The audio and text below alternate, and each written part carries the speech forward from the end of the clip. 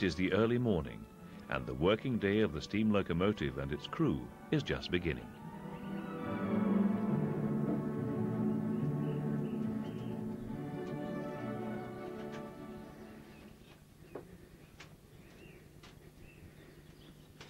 The golden age of the steam railway was built on foundations of hard work, on skilled work, on dedication.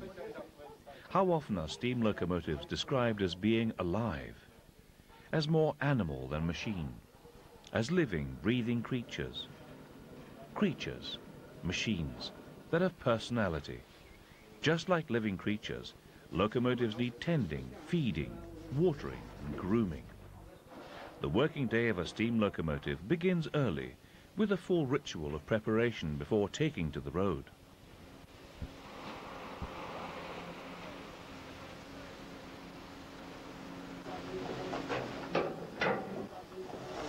Fires to be lit, steam to be raised, with feeding and watering,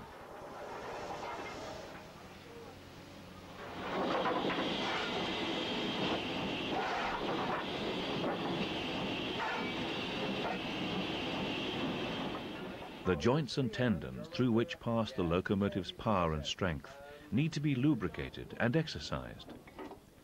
Light oils and heavier greases for the running gear as metal slides up against and over metal at high speeds. Heavy oils for the cylinders designed to atomize under the heat and pressures of the locomotive to become microscopic particles flowing into the cylinders and valves along with the steam.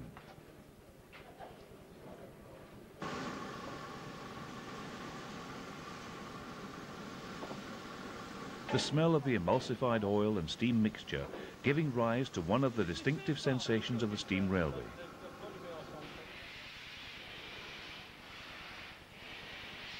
In the golden age of the steam railway, the steam locomotive reached its greatest ever level of technical sophistication.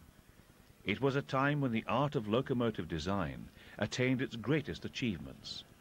And it was a time when some lucky passengers were carried in incredible comfort and style.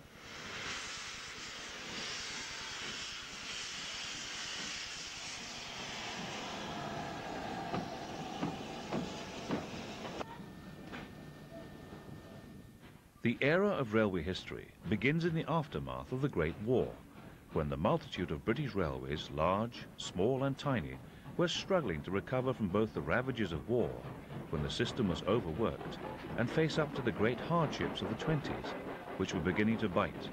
The government looked to rationalize the system, and in 1923 had created four new companies, the Big Four, The Southern Railway is perhaps one of the less fanatically admired by today's enthusiasts, yet it presents a fascinating picture. Its role in the economy was a carrier of people, more than a carrier of freight. The Southern network was a key part of the commuter-based world of the southeast of England.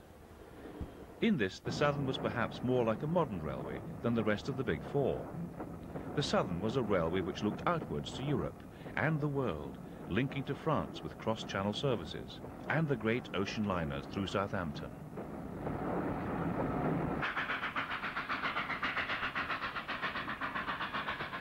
The London and North Eastern was formed from the railways which ran up the east coast all the way to Scotland. Its trains served the rural depths of East Anglia and much of northern industrial England.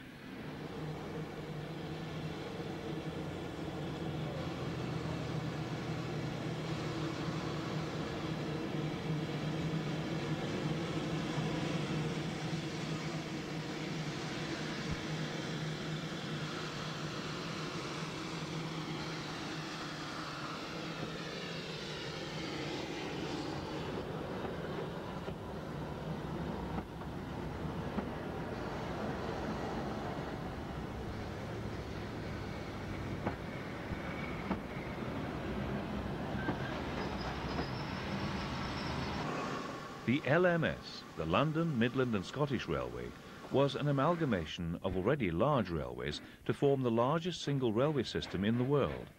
Its lines ran into almost all parts of the British Isles. LMS trains penetrated the farthest reaches of the Scottish Highlands, the West Country in Bristol, the industrial Midlands, and above all, served the West Coast route to Scotland.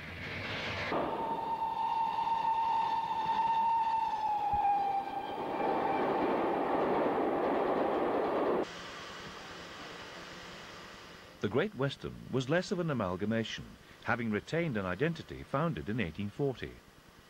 It ran fast trains from Paddington over lines laid down by Brunel. It bore the produce of the agricultural West Country to London. The GWR also had a dirty industrial face, covered in the grime of the South Wales coalfields.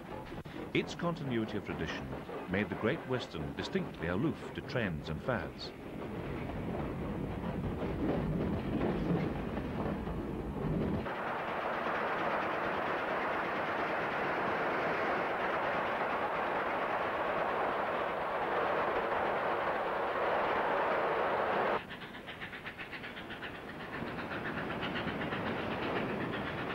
Great Western's engines retained a distinctive style.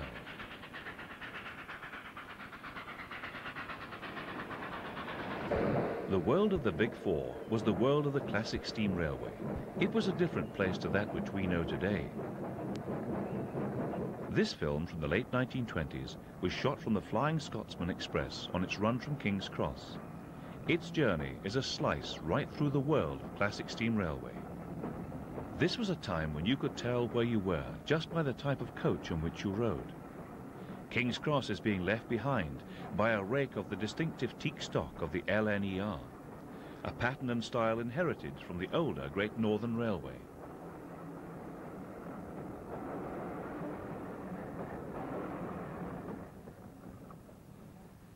The engine is an A3 Pacific, one of the first of the big new express classes that were to become icons of this era in railway history. The express speeds through a station.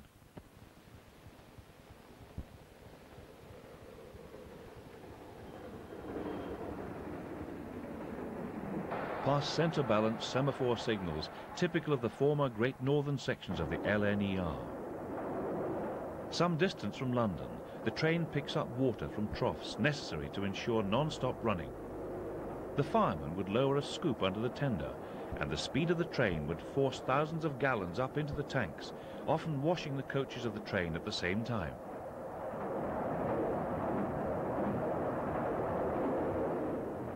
Further north, and the design of the signals have changed, telling us we are now in the part of the LNER that was formerly the territory of the old Northeastern Railway one of Britain's smaller but richer railways. The track landscape was much busier and cluttered in these times. Here the express travels past sidings servicing factories and goods stations. The railways played a far more important role moving freight and goods.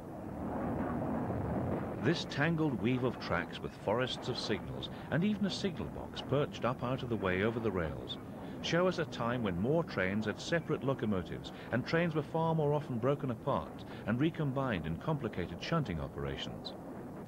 It was a time when locomotives needed servicing and refueling far more often. Track arrangements had to be more complicated just to make all these movements possible. The train overtakes goods traffic past a mixture of wagons privately owned and belonging to other railways. In some ways, it is the railway's role as a mover of freight that has changed the most since the classic age of the steam railway.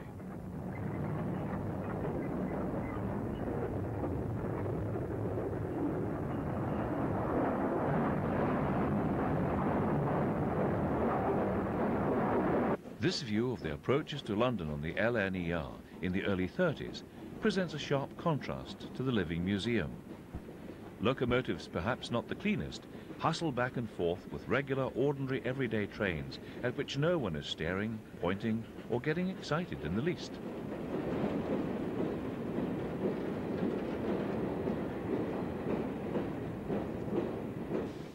Expresses were such a major feature of the interwar years.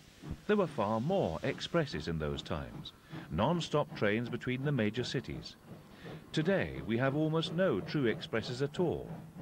Amazingly, for a smaller country as Britain, the Plymouth to Paddington and King's Cross to Edinburgh journeys were rated the longest non-stop runs in the world.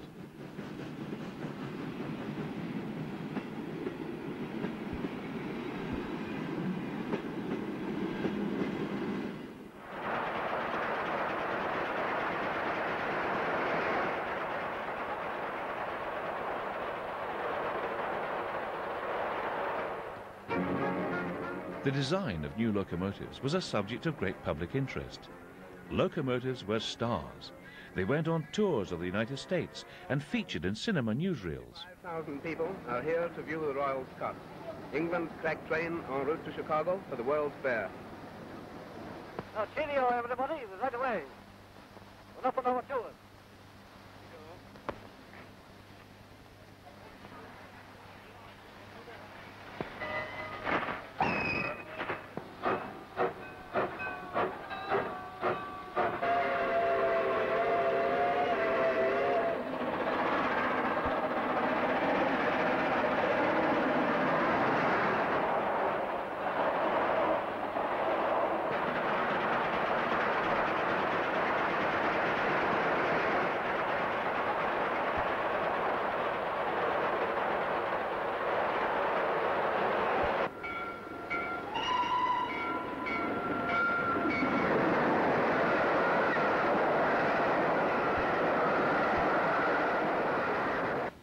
LMS Royal Scot was in fact a borrowed design from the Southern Railway. Here is a close southern relative. A second look of the Royal Scot shows the family resemblance.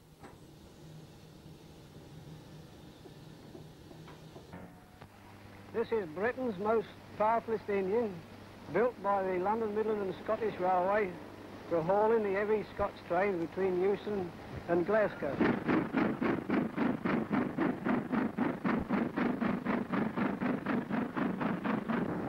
It is the maiden journey of the new locomotive on the LMS Scottish Run. The engine has been named after Her Royal Highness the Princess Royal, and she is expected to break all records.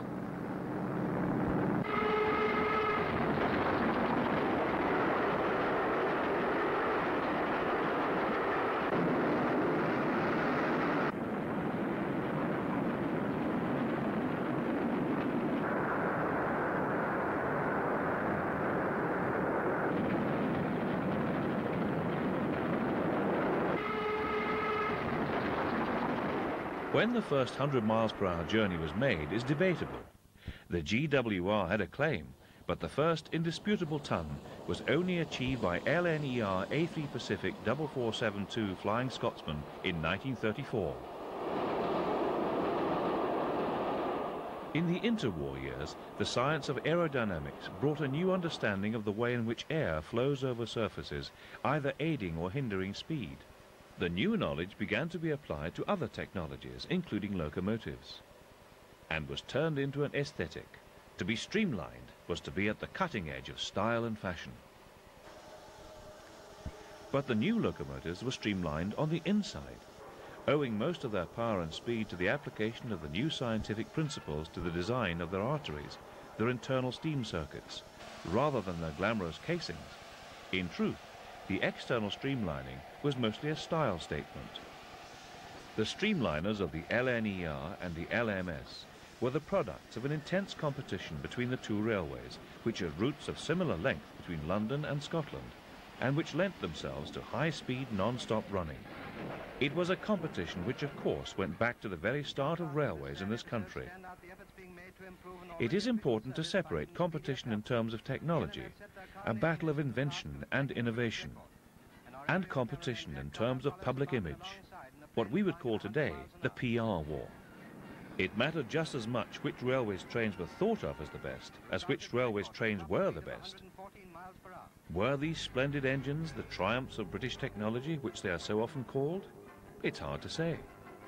The British designers Stanier of the LMS and Gresley of the LNER made extensive use of new scientific theories of locomotive design developed by French engineers, in particular André Chapelon. These ideas lay beneath the skin of the locomotives.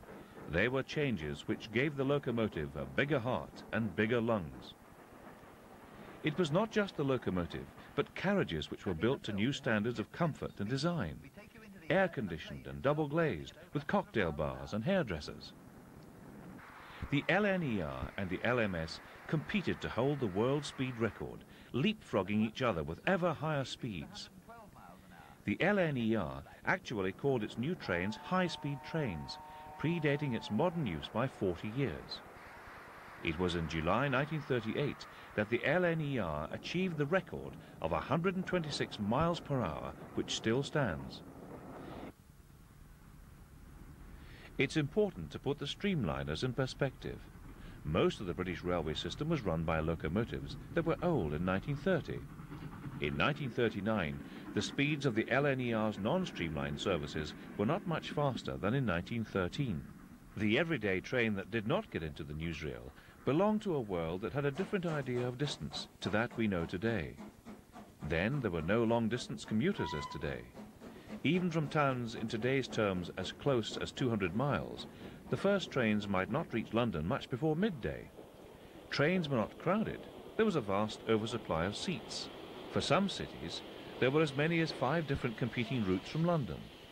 Not having a compartment all to yourself was regarded as a hardship. Trains were longer and heavier than today.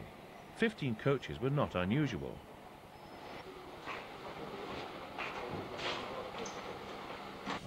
Stepping down in the railway hierarchy, a cross-country stopping passenger train calls at a rather quiet rural station on the Great Western. The locomotive is a 440 with a train of, what else, rather old-fashioned Great Western coaches. If many of the grander express trains were of what today would be unusual lengths, in rural areas on country branch lines, services might be made up of just a locomotive, perhaps a small tank engine, and a few coaches. Here, somewhere on the LMS, an 060 Jinty hurries by with its train. But one wonders just what happened on this day, as an S15 460 makes light work of a two-coach southern train. It is the rural service which has perhaps disappeared most from the British landscape. The typical sleepy country station with a handful of trains visited by a stopping goods service which would pick up perhaps just one wagon could not survive in any form into the present day.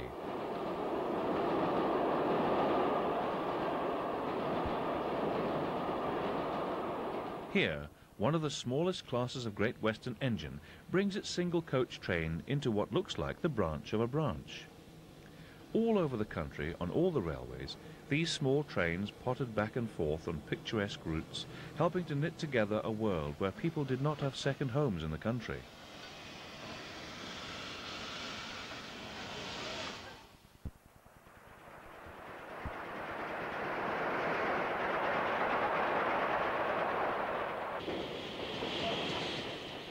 If today's long-distance commuter did not exist, the ordinary commuter certainly did. Here, an LNER steam commuter train arrives. Commuter service and steam do not go together.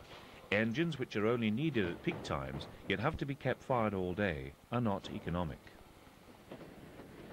The electric train, which only costs when it works, is an obvious improvement. This view of the approaches to London Bridge show that the Southern Railway was the very first of the Big Four to make the big decision to make a huge investment in a major electrification, building new trains and laying supply the whole length of the line. The advantages of electric power and suburban commuter services are obvious. Electrification meant that on the southern lines into London, the railway was able to run twice as many trains in the 15 years between the wars. This increase in service was both caused by and the cause of the growth of the southeast, whereby the suburbs feeding London seemed to extend many miles from the capital. Perhaps the first sign of the end for steam was the first electrified main line, on the southern, the line to Brighton. In the classic age of the steam railway, special trains, non-scheduled services at holiday time, or to a special event were far more common. Today, football supporters travel by car or coach. In the past, these journeys were made by train. During the interwar years, people first gained the legal right to paid holidays. Blackpool alone in the 1930 season received 22,000 trains carrying over 3 million passengers. This doubled to over 6 million by 1935. This massive summer demand might at first seem a good thing. In fact, it was a burden as the railways had to store and maintain a huge reserve fleet of carriages and locomotives, only earning revenue a few months a year. Less than a third of the total rolling stock was in everyday use. The expresses of the Southern connected to Europe. the Golden Arrow crossed the Channel to become the Flèche d'Or. Other southern trains connected with the great ocean liners at Southampton.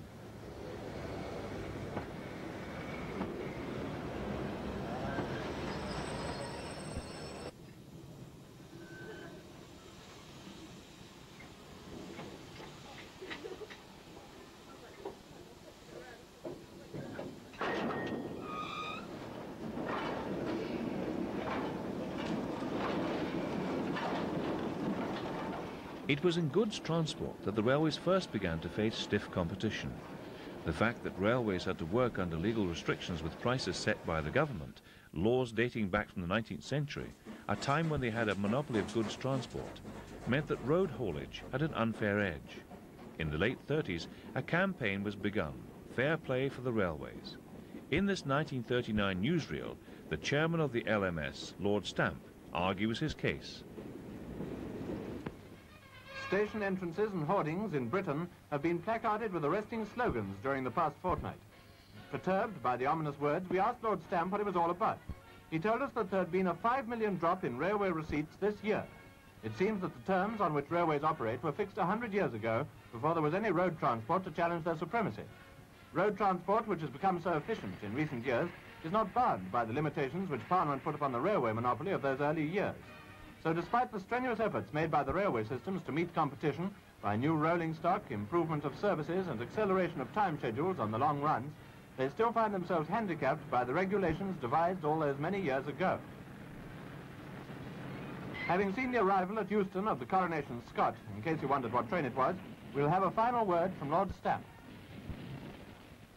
Our receipts are dropping alarmingly. Matters are urgent.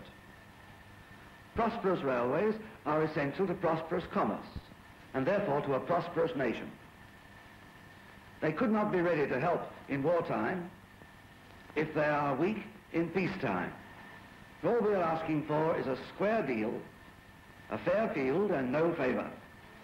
In 1939, with Europe once more on the edge of a world war, Britain's railways presented a story of mixed fortune. The PR department of the LMS was hard at work, sending another locomotive on an American tour. Good luck by Lord Stamp. Well, goodbye, Bishop. You've had plenty of good advice, so I won't give you any more. But you're going over and we know you'll uphold the credit of Britain and British Railways. Goodbye to you too. Goodbye. The train will shortly leave Southampton for its journey across the Atlantic. On the other side, a tour will be made embracing over 3,000 miles and 38 cities. And Americans will be able to compare the efficiency and luxurious appointments with those of their trains.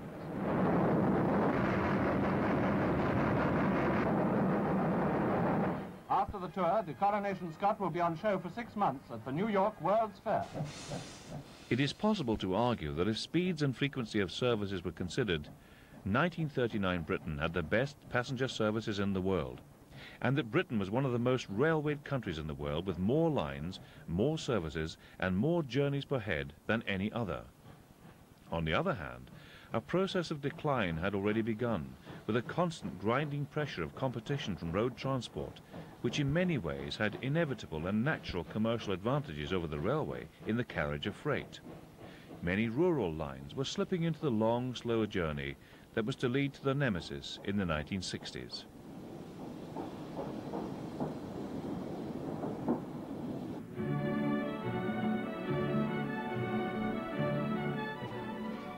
Exodus from London takes place. Young people whom their parents had wisely registered for evacuation taking train for the West Country. The railways provided one of the stages for the human drama of the Second World War. The railway platform and the departing train, whether carrying the evacuated child, the soldier, sailor or airman, or even the prisoner or displaced person, each and all travelling to unknown and fearful destinies, provide us with some of the most abiding images of the war years. One of the first jobs of the railway in Britain was to carry away the children of the cities and towns to be safe from air attack. This scene on the LNER shows something of the railway at war. This was a world where everybody seemed to be on the move, but everybody's journey had to be necessary. The war brought dramatic change to the entire railway network. War was declared on 3rd September. On the 4th, Plans for mobilization meant that the Great Western Railway alone ran 320 special troop trains and a further 350 carrying ammunition, fuel and other military supplies. These sequences are from a special series of films shot for the GWR, recording wartime conditions at various stations on the Great Western System in the week running up to Christmas in 1941. The film provides a quite vivid picture of travel under wartime conditions. The most dramatic change from peacetime is the sheer numbers crowding onto platforms and cramming into trains. When we remember that before the war there was actually an oversupply of trains, that it was a time when a traveller could enjoy space and privacy. It is clear that this was a world turned upside down. Quite simply, there were less trains as so much rolling stock and timetable space was taken over by military traffic. Trains became incredibly long, sometimes to a length of 26 coaches, using two separate platforms. The first half of the train pulling out and then reversing on to pick up and couple with the rear portion. These enormous trains would then crawl slowly away, perhaps with every single space filled, perhaps blacked out through the night, perhaps stopped and shunted aside many times to make way for more important traffic. The railways were of course regarded as valid targets for strategic bombing, but if high priority was given to their targeting, then high priority was given to repairs. Damage to essential routes was quickly made good. Just as the RAF was defined in Germany, essential services could be quickly repaired and large and heavy pieces of capital equipment, solid pieces of heavy engineering such as steam locomotives, were actually quite hard to damage, so irreparably that the engine was lost completely. Figures show the surprising fact that throughout the entire war in the entire country, a total of only eight locomotives were completely destroyed by bombing. The sad fact is that while the damage caused by direct enemy assault was negligible and easily mended, the damage caused by overwork, neglect and government policy was far greater. Just as trains were worked doubly overloaded, so the railway system was doubly loaded both technically and financially during the war. Locomotives were not maintained to the standards necessary. They were made to soldier on with worn-out parts, with neglect leading to greater damage just as with locomotive stock, so with the rolling stock and the permanent way. Both were sacrificed for victory. Even in the quality of fuel supplied for locomotives, the railways were asked to make sacrifices. Wartime conditions meant that the engines had to run on low-grade coal that reduced their performance and gave them a bad diet, magnifying the problems caused by the minimal maintenance. The human population was living on powdered egg, the locomotive population its carboniferous equivalent. Now, it might be thought that as a result of all the extra traffic in both passengers and freight, and the fact that double-length crowded trains might be slow, but they are very cost-effective, bringing a good return, that the railways might have been highly profitable. In fact, the government took steps to prevent the railways becoming war profiteers. The state clawed back all extra revenues, leaving the railway companies with run-down track, worn-out engines, carriages and wagons, and infrastructure almost inoperable, while denying the money and resources with which to make good the damage and return to health.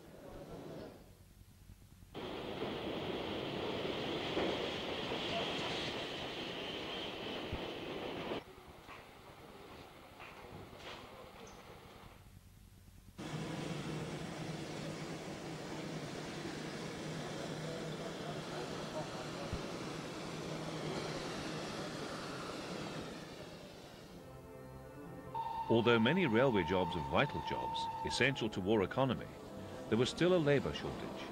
Just as in all areas of British industry, women played their part in winning the war, taking the jobs of men who were away. Although not found on the footplate, women worked as locomotive cleaners, doing the dirty work of motive power departments all over the country. Women did the dangerous and demanding work of permanent way maintenance,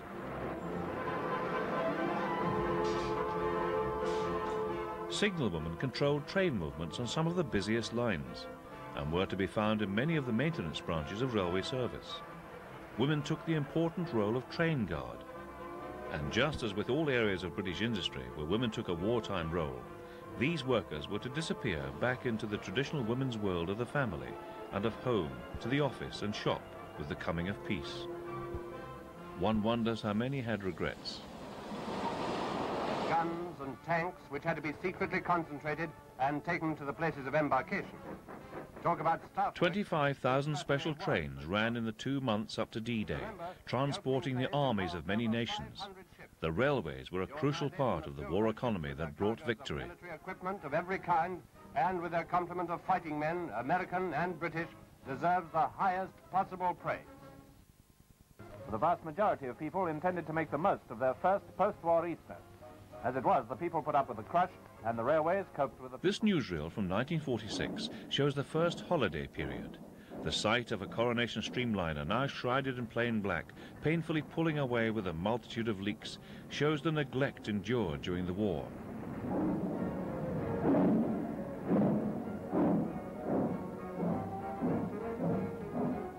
In some places, there were attempts to get back to normal. Of the Golden Arrow trains, in which you can travel in complete comfort to the coast. After crossing the channel, you board the train again in France. If only this kind of travel were typical of journeys everywhere in Britain. But, well, maybe that's too much to hope for yet. It would be very wrong to say that the railways in the post-war period were either standing still or simply trying to recapture old glory. There was innovation, improvement and progress. The LMS built the first mainline diesel, and here is a newsreel report of the first mainline electric locomotive built for the London and North Eastern Railway to work the old Great Central Main Line.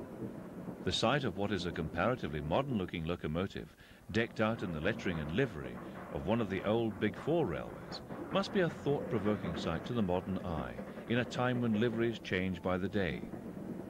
Just as the Great War of 1914-18 brought massive change on Britain's railways, so World War II brought about the most significant of changes, full state control, nationalisation.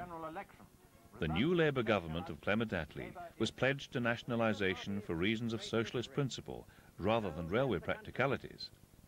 The big idea, that was never carried through, was to also nationalise road transport, canals and docks and create a completely coordinated national transport policy.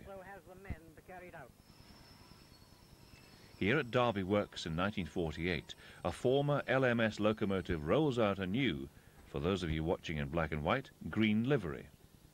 It's often said by defenders of state control that nationalisation was completely inevitable due to the state of the system in the post-war years. The GWR was the only company to have made anything like a realistic profit in 1939. The LNER and the LMS, for all their glamour, were almost insolvent. In fact, it was the effect of state control during the war that had brought the railways to such a sorry condition. It was the state that had starved the railways of income during the war, and the state that had caused the system to be thrashed into the ground through a lack of money for replacements and repairs. So was there an alternative to nationalisation? Yes, the state could have repaid the debts it literally owed the railways for their sacrifice in the war. This would have given the railways the resources to rebuild, to expand. The private railway companies could have expanded into road haulage, bus companies and air transport, as they were doing before the war, and produced a coordinated policy based on commercial reality rather than political belief. And we would today have the position of railways owning the bus and coach companies. There was a huge need for new investment in what today we call the infrastructure of the railways, but post-war Britain had a huge shopping list with the creation of the National Health Service, the welfare state, and improvements in education, and rebuilding the railways was a step too far. As it was, what really changed were the names painted on the side of the engines, and that decisions which should have been based on sound railway operation began to be taken by civil servants and politicians. What did the people of Britain get? They got 20,023 locomotives in 448 different types, 16 electric locomotives, 53 diesels, just under one and a quarter million wagons of 480 different types, just under 20,000 route miles of track. At nationalisation, the railway employed an astounding 700,000 people. A fascinating side story to the tale of nationalisation is that the Act of Parliament that took the railways into state control actually made no reference to the name British Railways. The new system was created, but it had no formal name. and the title British Railways was an improvisation. If there was a national British railway, was there such a thing as a typical British locomotive? If there is a typical British locomotive, it is the 060, be it an 060 tender or an 060 tank. These locos were the staple workhorses to be found on freight and passenger traffic alike. At nationalisation, of the 20,000 engines British Railways owned, more than one in three were 060s. When BR came to build its own locomotives, no 060s were built. Locomotive policy was one of the first areas where the new British Railways had to go to work and integrate the Big Four into one system. It was decided in 1951 to build a whole new family of standard locomotives that could eventually work the whole system. Just ten designs. The wisdom of this is debatable. Other developed countries were investing in diesel and electric traction. Only three years later, the decision was taken to phase out steam altogether on Britain's railways, a wasteful change of mind. Many of those locomotives built in the 1950s would have had useful lives nearly to the present day. What was the idea, the basic thought that guided the designers of these standard locomotives? Maximum steam raising capacity, huge efficient boilers for each type of loco to guarantee plenty of power, high thermal efficiency, making maximum use of the energy from the coal burned with large grates and internal steam circuitry and valves of the highest standards. Simplicity, as few working parts to look after and those parts to be easily reached and on view.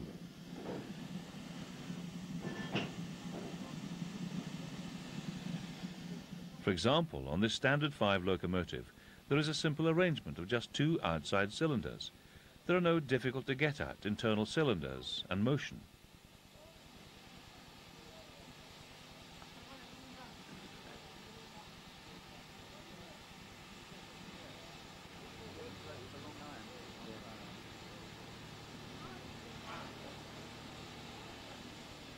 Key components were to be highly engineered, drawing on the lessons and developments in technology that the war had brought. The tender of the Class 5 has roller bearings on its axles, more reliable and needing far less maintenance. The idea of low maintenance and higher efficiency is carried throughout the design of the locomotive. The locomotive is fitted with a then innovatory oil pump, a mechanical oiler here being primed. This reduced the number of individual oilings needed before each journey.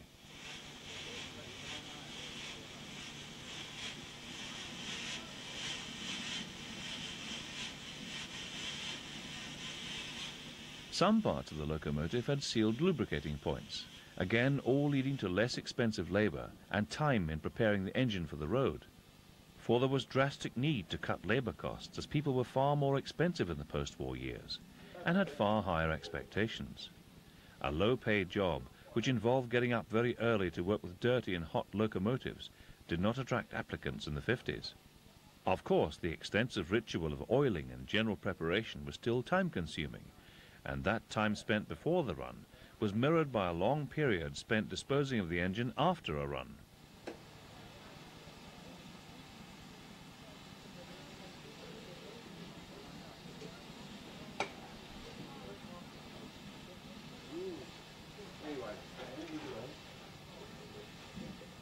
Equally, the new engines were to be easier to put to bed at night, with features such as a self-cleaning smoke box to remove one of the most dirty and unpleasant tasks in tending to steam locomotives.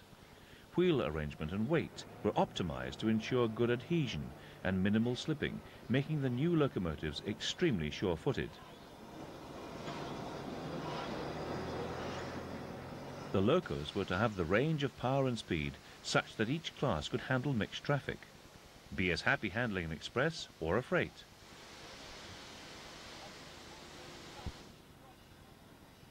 pulling a light train very fast, or a heavy train powerfully, if slowly.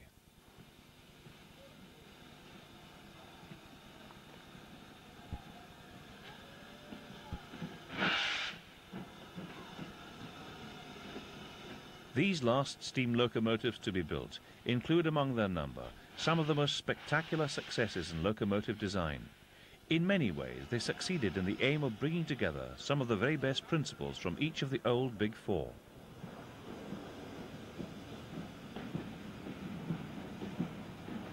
It is a sadness, a waste of human ingenuity that so many good working locomotives were to have such a short working life.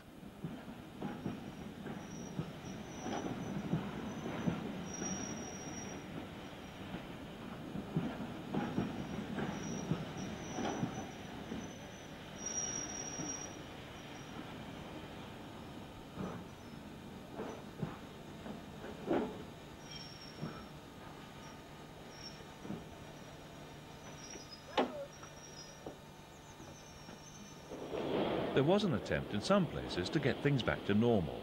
The Golden Arrow had resumed its run to the Channel very soon after the end of the war. This precursor to the Eurostar was an exercise in luxury.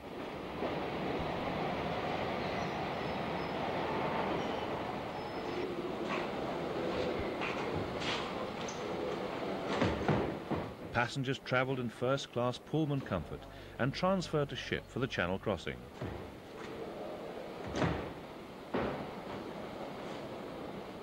The war had so run down the system, poorly maintained track cannot stand fast running, that it was not until 1953 that any of the major long-distance non-stop expresses like the Golden Arrow began to reach pre-war standards. While the former southern lines were returning to the old glamour of continental travel, on the east coast route to Scotland, there was an attempt to recreate the pre-war years of the LNER. The train was called the Elizabethan. London, 9.35 a.m. And from King's Cross, a new train, the Elizabethan, sets out to inaugurate the Coronation Year Express service at Edinburgh, the longest non-stop railway journey in the world. Aboard, the passengers settle down, some to their morning pick-me-up, or maybe that breakfast they missed. We leave them in comfort while we film from almost every angle the thrills of this epic run, recalling those former pre-war record journeys to the north.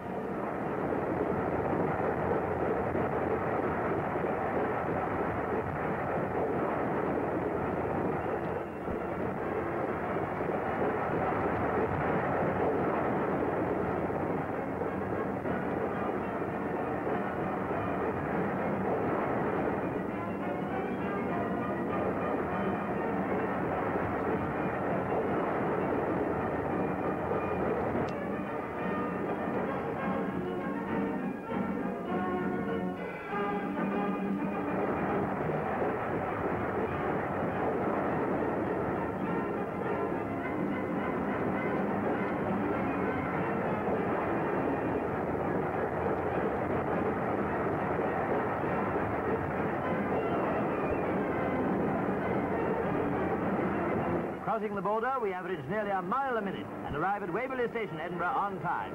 392 miles in six and three quarter hours. A record for a non-stop journey. The time, 4.20 p.m. So the Elizabethan starts a new age in railway history.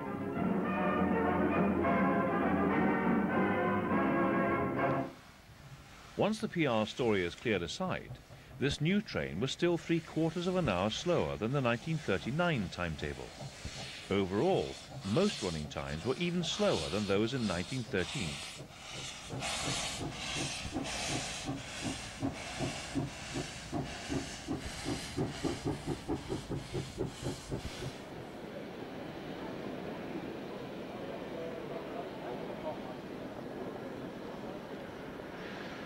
In the West Country, the Cornish Riviera Express was revived. Here, the train stands awaiting the all clear as befitting one of the most famous trains to work from Paddington. As it should be, the locomotive is a powerful king of the Great Western Railway. Watch for the porter walking through shot as the locomotive leaves. What has he been doing in front of the locomotive?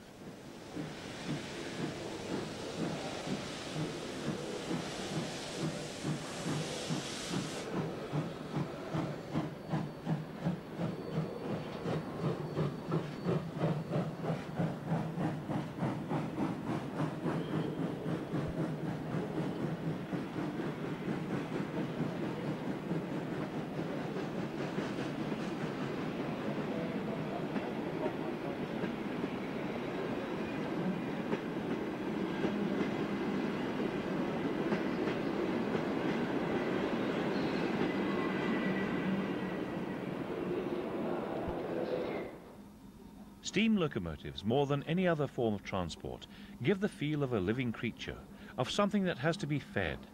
This scene of coaling is timeless, something that's been happening for 150 years.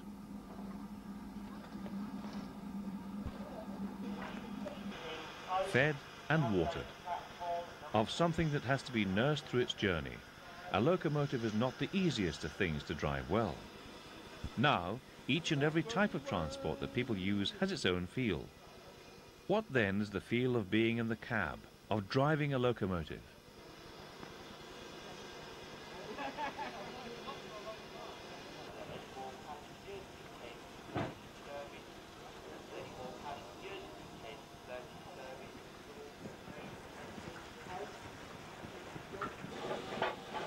In some ways, driving a locomotive is like the more familiar experience of driving a car. When starting, selecting a low gear, a late cut-off on the reversing gear, taking off the brake, pressing the accelerator, opening the regulator to send power to the wheels, the engine slowly starts to move. Steel wheels on steel rails do not move with the same response of rubber on tarmac, and the locomotive is gently encouraged up to speed.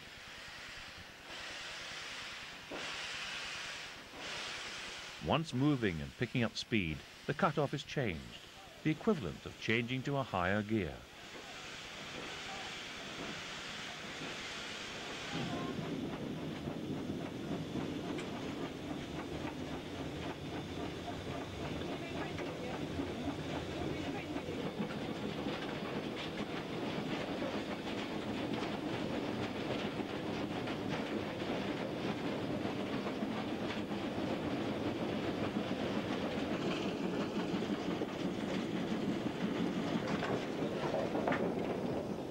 Driving of steam locomotive is of course a two-person job, with extra work from the fireman in response to the engine working harder. The fireman watches steam pressure and water level, and has a cab floor to be kept clear of loose coal. The engine beats faster as it works harder, climbing, doing more work, burning more coal.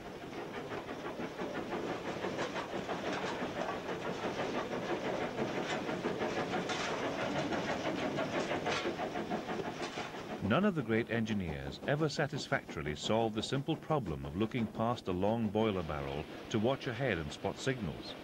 So it is a job of both crew to work together, look forward, checking both signals and the road ahead.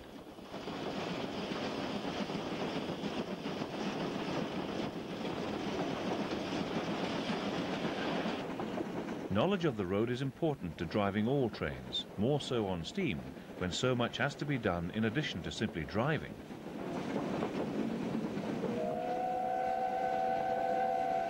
The sensation of the cab is one of noise, of vibration, of being in the open air, directly aware of the environment through which the train runs, of feeling the locomotive work, of understanding its condition by vibration and sound, rather than the simple inspection of dial and gauges.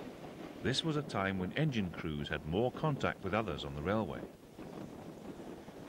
For engine crews in the age of steam, the signalman was not a remote presence many miles away.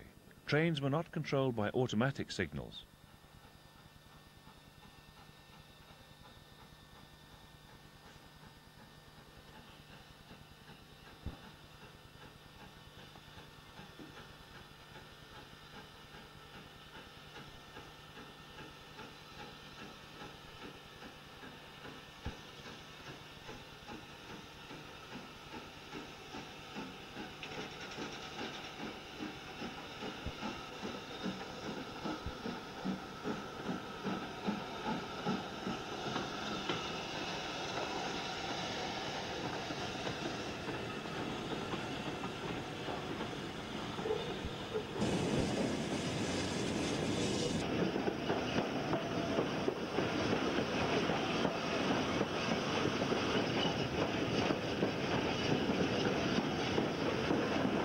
This film, shot in an LNER box, is one of the earliest automatic power-controlled signal systems.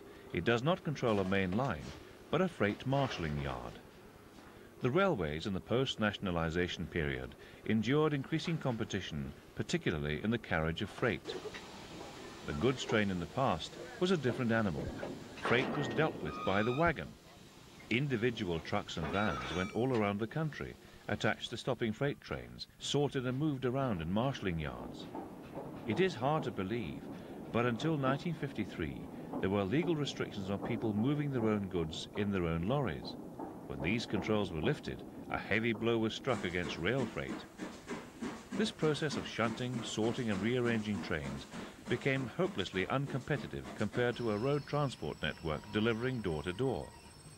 There were attempts made to rationalize the system by using these automated yards. In effect, these yards only delayed the impact of competition. Even with automation, the process still required an army of shunters to couple and uncouple the different wagons and sort the trains into the correct order. The work of the shunter running alongside heavy moving wagons, riding on the brake lever, appears to be hair-raisingly dangerous.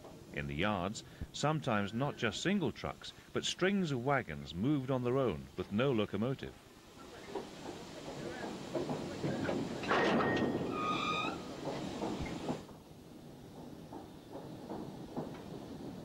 Shunting was a job requiring some strength and coordination. This shunter sprints alongside the trucks, while at the same time inserting the brake stick to work the wagon's own brakes.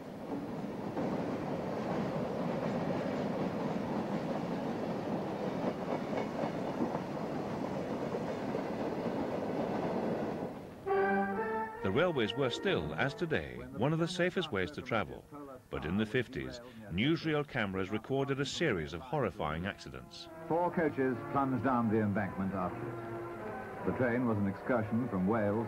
Immediate fatalities were 10, and the number of injured about 100. Nearly 300 passengers were aboard the train, and many miraculous escapes were reported, including that of the engine driver and the fireman.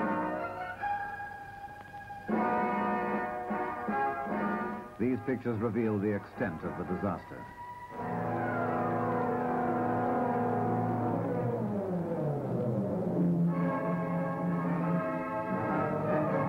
There are the points which possibly caused the accident. It took hours before the main line was cleared.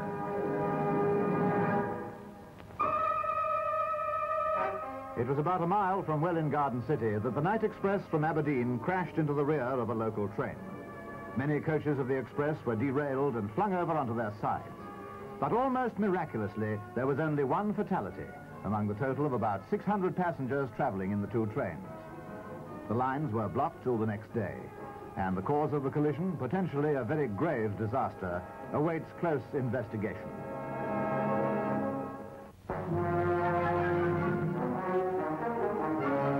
Sutton Coldfield Station was closed and empty when the York to Bristol Express was derailed there.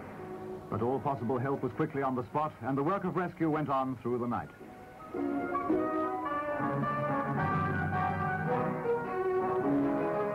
When the engine left the track, some reports say it jumped the points, nine out of ten coaches piled up into this terrifying mass of wreckage.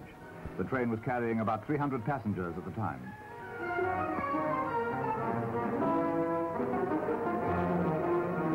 Railwaymen were quick to avert another disaster by succeeding in halting the Birmingham to York Express, 200 yards short of the wreckage. An early casualty list put the fatalities at 16 and injured, many of them very seriously, at over 40. Deep sympathy for those bereaved and all who suffered in this tragic accident has everywhere been expressed.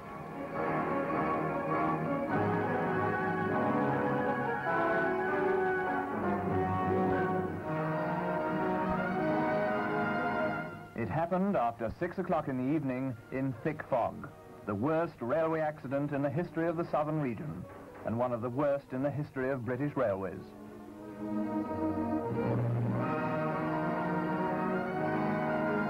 A steam train from London to Ramsgate crashed into the rear of an electric train to Hayes, which was stationary between St John's and Lewisham stations.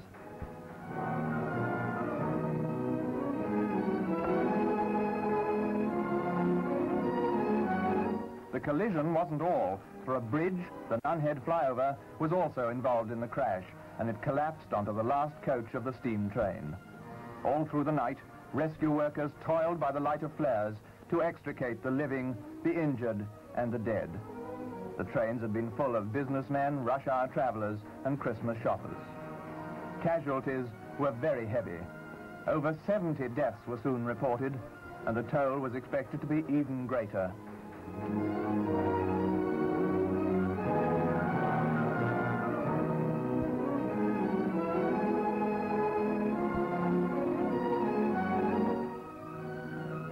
The frightful pile-up on the line was now a little clearer to see, and looking at it, the reason for the heavy casualty list became obvious.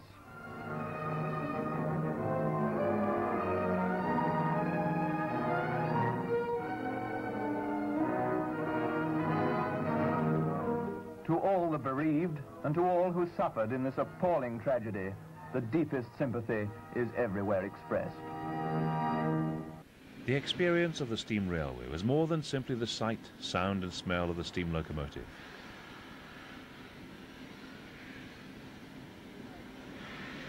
The experience of the steam railway was the total of a mass of small details.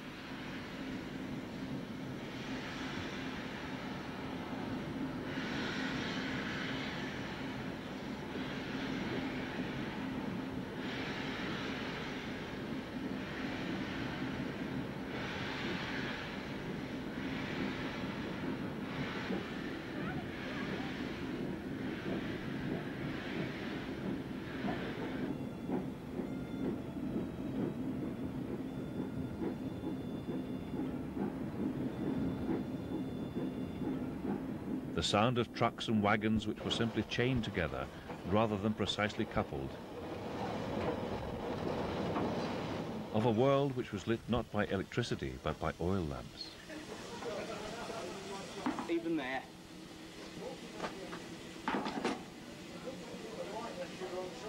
Oil lamps shone down on a pre-microwave, pre-fiber optic world with a communications technology worked with simple telegraph wires.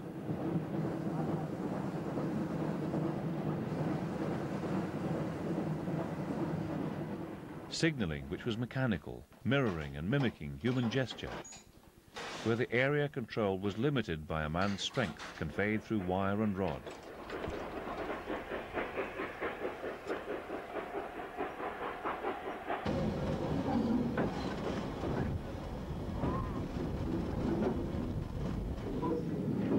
Even the sound of wheel running on rail in the classic age was different. This was a time when 60-foot lengths of rail, bolted, not welded together, sat wedged in place by wooden keys and cast-iron chairs, bolted to wooden sleepers. Trains don't sound like this anymore.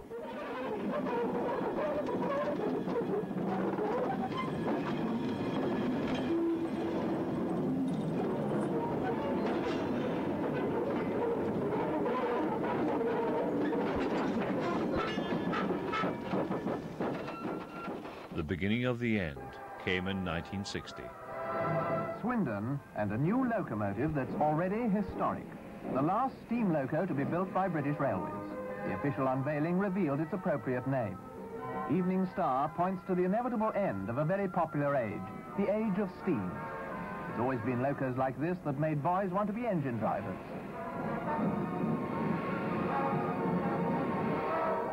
An innocent might ask, why aren't steam locomotives used anymore? The answer is simple. What would you have to pay someone to tend to a steam locomotive's needs? Laboring for money rather than love.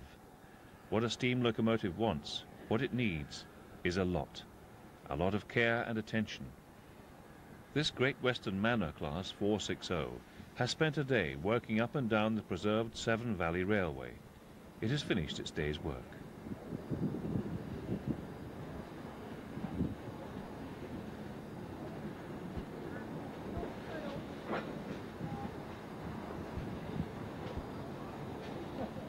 But for those whose task it is to care for this engine, to make certain it stays a healthy engine, the day's work is not even half over.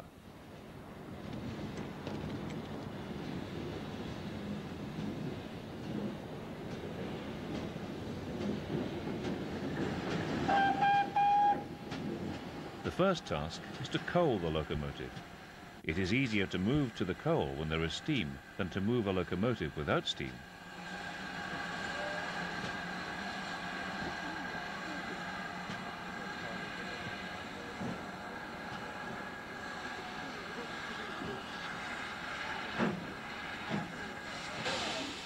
A steam locomotive cannot switch off, lock up and go home.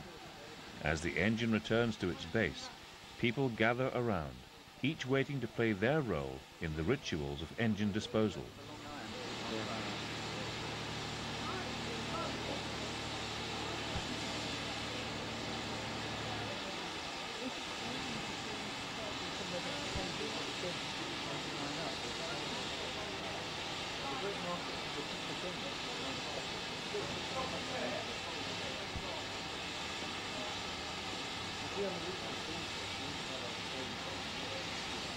One end, new fuel is loaded into the tender.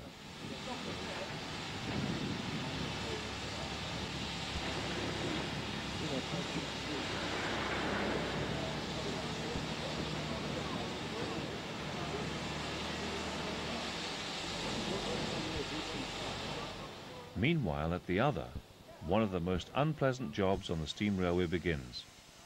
As coal burns, and just as any fuel, it does not burn completely, some ash remains. While the locomotive is running, this ash is sucked through the boiler tubes. Some is blown out through the chimney, but some gathers and collects in the smoke box. For all but a small number of engines, there is no alternative but for someone to open the hot smoke box and shovel the ash out. Shoveled by hot, dirty and dusty shovel, to do the thorough job needed means to get right inside the box of the still hot locomotive, reaching right inside with special tools to reach into every nook and cranny of the engine.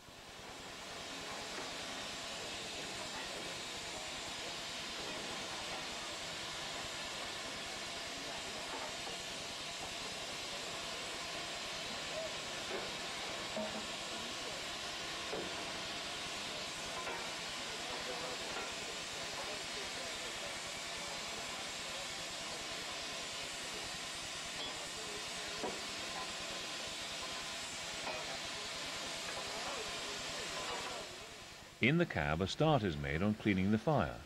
The smoke box door is cleaned to make certain of the airtight fit which is needed when running for the engine's exhaust system to do its job properly.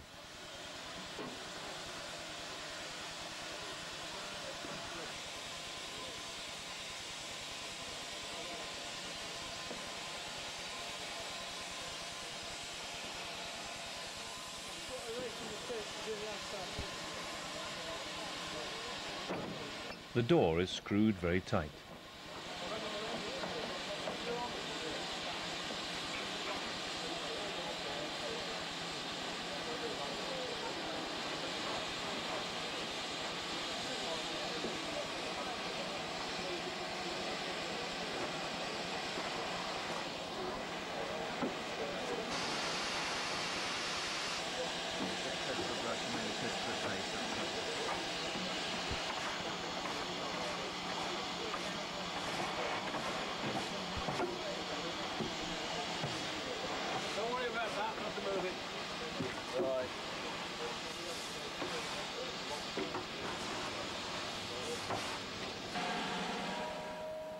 Engine rolls forward on its remaining steam.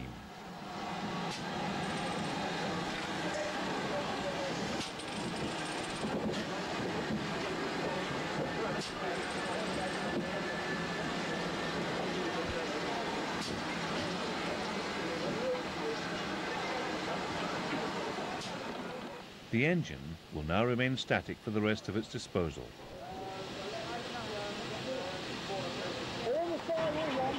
The boiler is filled with water.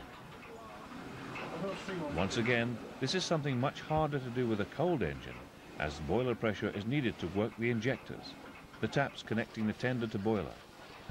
This gradually cools the engine and reduces the boiler pressure. Then comes the task of removing the fire. Again, on some of the more modern engines, the fire can be dropped through the bottom of the firebox, but here it has to be shoveled out by hand and dropped through the floor of the cab. Hot work, cramped work, using cumbersome large tools in a small space. It is this, the simple amount of labour needed to make the engines work, that brought about the end of steam.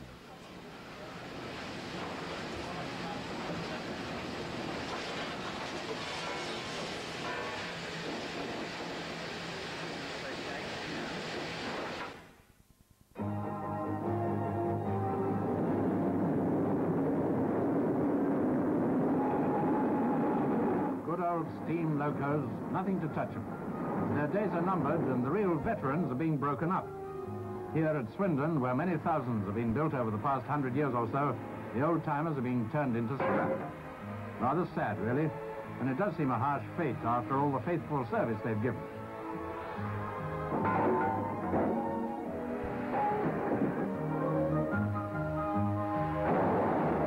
Of this lot date from the 1920s, but they won't be quite forgotten. There's a big demand for the old number plates as souvenirs for collectors. Still, progress is progress, I suppose, and British Railways must diesel on. When he joined the Incredibly, steam on Britain's railways lasted only a little longer than horses. The last shunting horse ending service in 1967. Past six years, he's been at Newmarket Station pulling horse boxes for racehorses. But Charlie's had his share of the limelight. Two years ago, he appeared at the Horse of the Year show.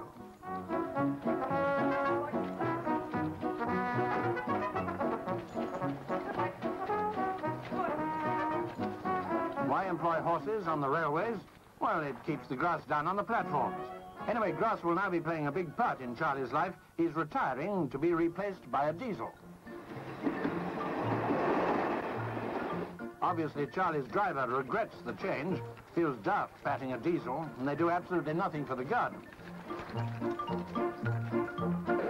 As it became clear that an age was about to pass away, people began to realize that the steam railway was a thing worth saving. Here, 4472 Flying Scotsman, 40 years on, now as British Railways 60103.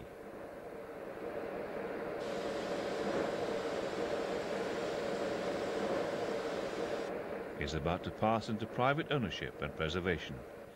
The engine was to be followed by many more.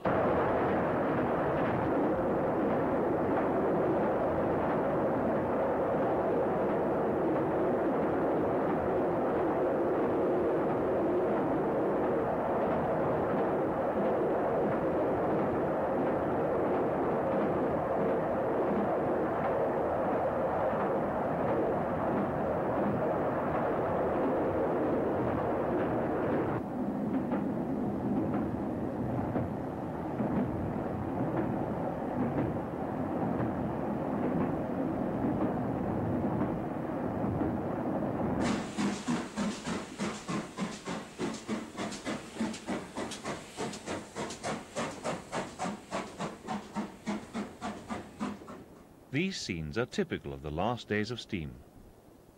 A stopping passenger train pulls into a small rural station.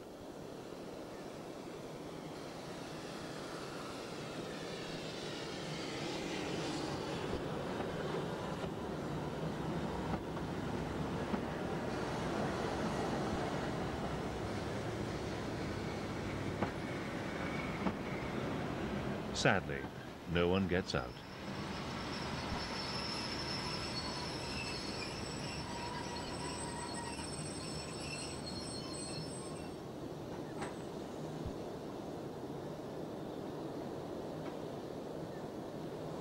An express double-headed by Class 5 460s has just overtaken a heavy freight. The freight, hauled by a Class 9 210O, the same class as Evening Star.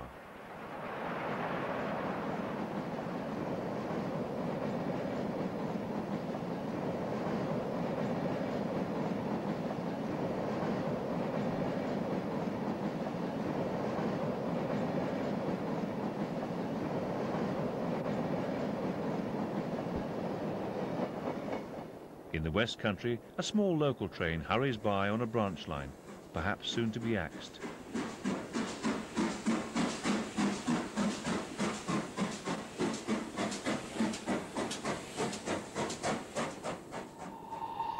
On the Great Western Main Line, a castle destined for scrap thunders by.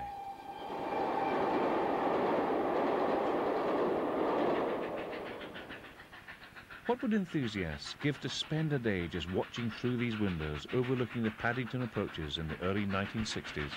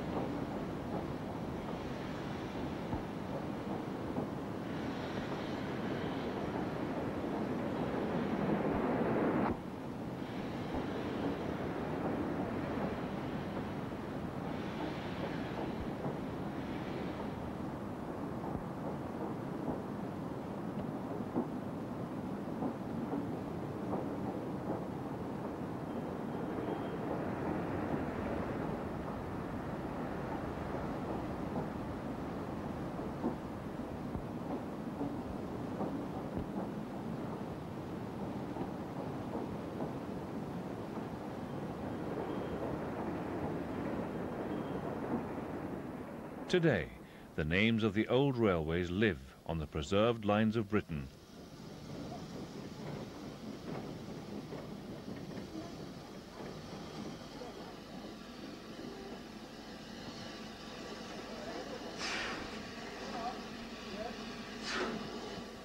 Locomotives, perhaps with new boilers and new wheels, still work, perhaps on lines that are a little too small for their power.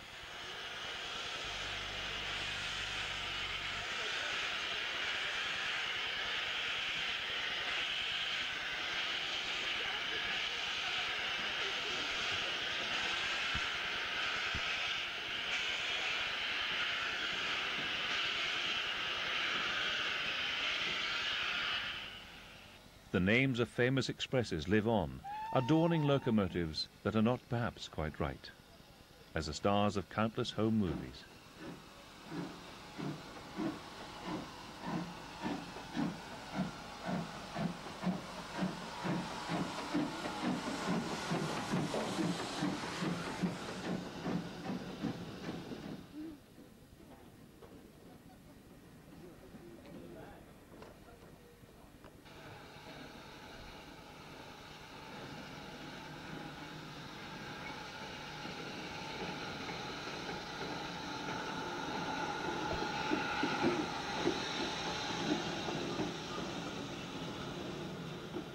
Steam locomotive is probably one of those technologies which, if it were to be invented today, would not be allowed.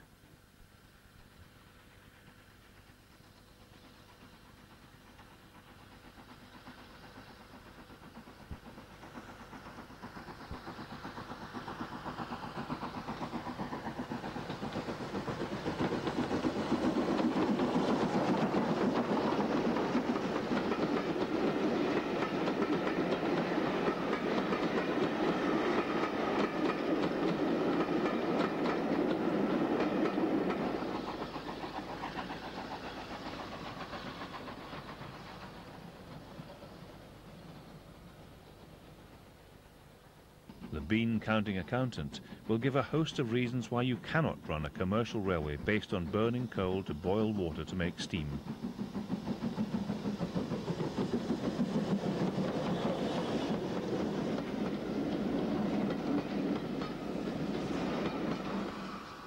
The truth remains that as long as there are steam locomotives in this world, there will be people who will want to clean them, oil them, fire them, drive them, photograph them, film them.